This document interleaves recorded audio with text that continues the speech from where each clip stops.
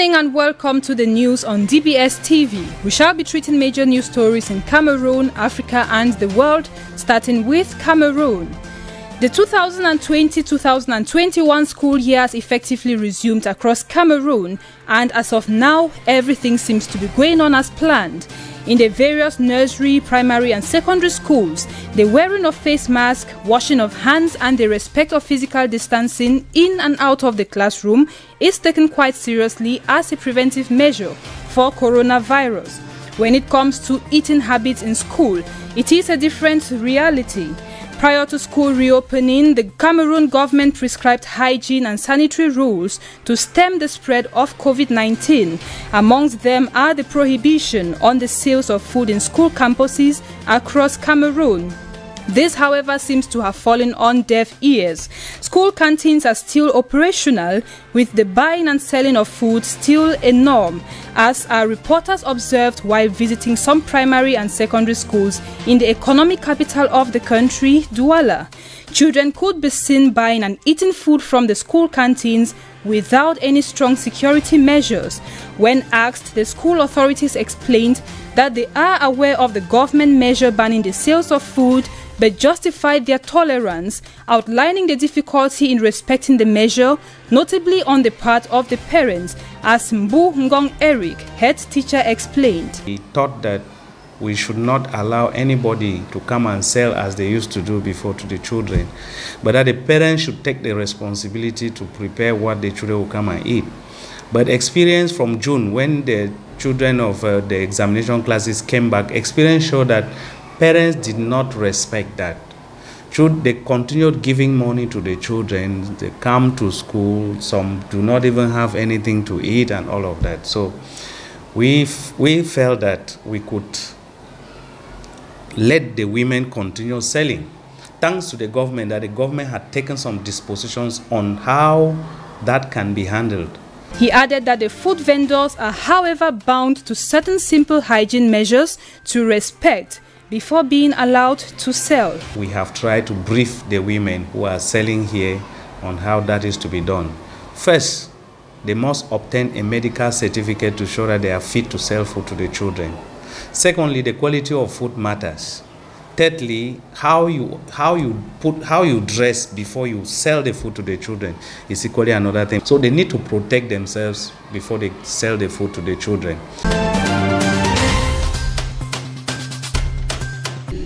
Voici votre sous-préfet.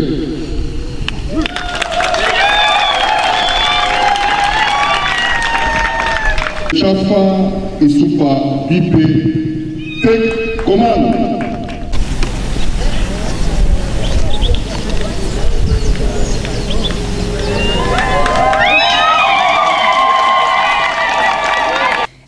Of change has taken place in Messok, a district in the Upper Nyong division of the East region of Cameroon. A new divisional officer, Chafa Isufa Mbipe, has been installed. Described as the man of the job, the SDO Joseph Bertrand Mache instructed the newly installed to work in service to the state and the community, promote social and economic development in his constituency, as well as maintain peace and security.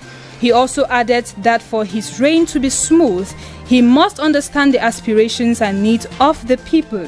Chafa Isufa Mbipe, who had served as DO of Kombo Abedimo in the Ndian Division of the Southwest region, replaces Mintiyene Ndo, who had served for four years. In the face of the challenge like the political discord amongst the people in the recent municipal election, the DO is tasked with handling the situation with objectivity, impartiality, and firmness in respect of the law. A host of local authorities and communities from the Northwest region attended the ceremony. An inspection mission of the Confederation of African Football is expected in Cameroon from Thursday, October 15, 2020, Minister of State, Secretary General at the Presidency of the Republic, Ferdinand Ngoh Ngoh, has given the Minister of Public Health 24 hours to dismantle makeshift structures constructed in some stadiums in Yaoundé, Douala, and Limbe. These structures were specialized COVID 19 treatment centers that never exercised their functions. In Douala, we struggled to have access to the Mbappé Stadium to no avail. Some youths were outside and off camera explained that they have been hired to dismantle the structures. Given the manner at which these makeshift structures were constructed directly on the playground and the time interval before the inspection from CAF, questions are to suggest how the playground will be after the structures would have been cleared off. It should be noted that the visit is the last one to size up the level of preparedness before the competition begins in January 2021.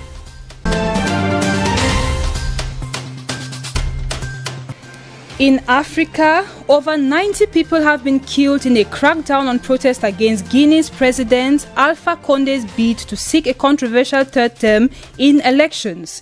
The 82 year old is vying for re election on October 18 after pushing through a new constitution in March that critics said was designed to sidestep a two-term limit in the West African country. Opposition to a third Conde term brought tens of thousands of Guineans to the streets from mid-October last year. On Monday, the anti-Conde coalition, National Front for the Defense of the Constitution, FNDC, published a tally of 92 protesters killed since the start of the protest. The country's security minister dismissed the FNDC tally saying that he refused to submit to a politically motivated, gruesome accounting. Amnesty International, in a report published on October 1, blamed Guinean security forces for the death of at least 50 protesters and urged the government to hold the perpetrators accountable. Hopes of a new political dawn bloomed when Conde became Guinea's first democratically elected president in 2010.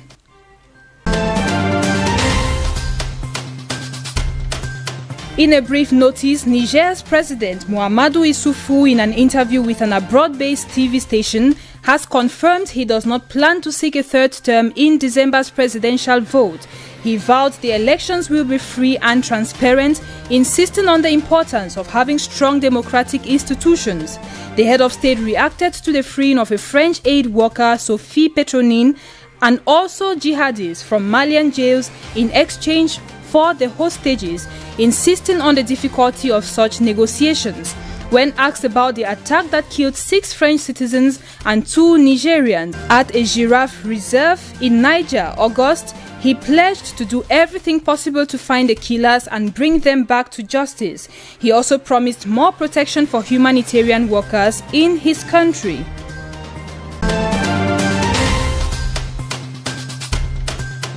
In Nigeria, nearly 40 million students return to school for a new term, hoping to catch up on missed schoolwork. Like no other school year, they are going back to a new set of rules as the government continues the struggle to stop the spread of the COVID 19 virus. This involves the checking of temperature, washing of hands, and practicing of social distancing in classrooms. While the students are happy to return to school after a long break, parents are excited as well but have mixed feelings concerning the security and safety of the school and the learners.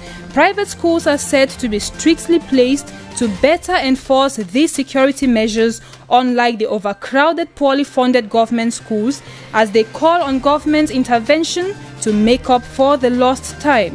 Note that over 10 million Nigerian children are said to not have access to education, nearly a fifth of the world's population. Experts fear the numbers could rise due to the COVID 19 pandemic.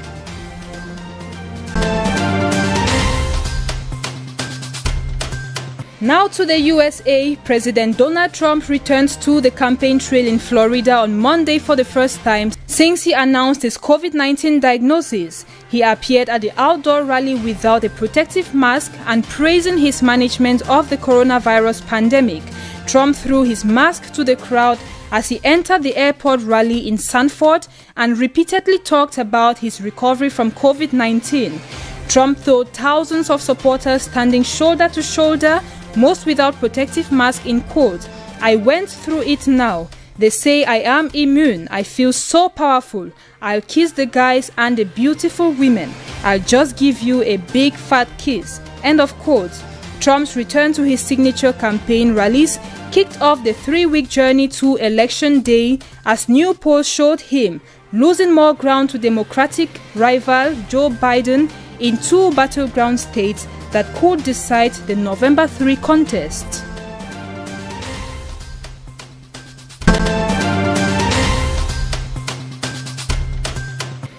European Union foreign ministers have been given the go-ahead on sanctions on President Alexander Lukashenko of Belarus over the violent crackdown on protesters following the country's disputed August 9 election. Chief Joseph Borrell said the disproportionate response had been used in the authorities' reaction to demonstrations as well as a complete lack of will on the part of Belarusian president to bring a democratic and a peaceful solution to the situation.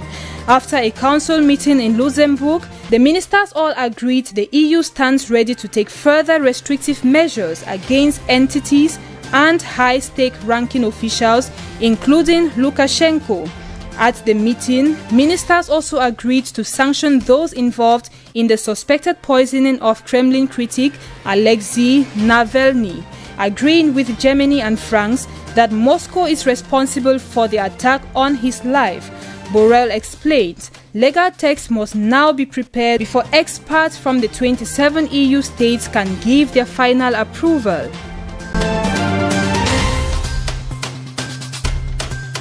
UK Prime Minister Boris Johnson has unveiled a new three level COVID 19 alert system that will be implemented across England, with the levels being decided according to the infection rates. This while waiting for lawmakers to vote on the move.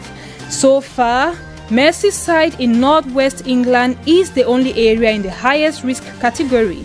Gyms, leisure centres, Betting shops, adult gaming centres, and casinos will be closed, Johnson said. The Prime Minister told Parliament, We must act to save lives, adding that he did not want another national lockdown and he understood the frustrations of those frowning at the repression of liberty. The lockdown could see people banned from socializing, with local residents being advised against traveling in and out of affected areas. Johnson said the Liverpool City region will be placed in the very high level from Wednesday, following talks with local leaders as the number of confirmed cases had quadrupled over the past three weeks. He added that there were more people in hospitals now infected with the virus than when the country went into lockdown in the month of March. Still talking coronavirus in China, the entire population of more than 9 million inhabitants in Qingdao will be tested for COVID 19 during the next days after new cases were detected from people who returned from overseas. The coastal city, nearly 700 kilometers southeast of Beijing, reported six new COVID 19 cases and six asymptomatic cases as of October 11, with most of the cases linked to the Qingdao Chest Hospital.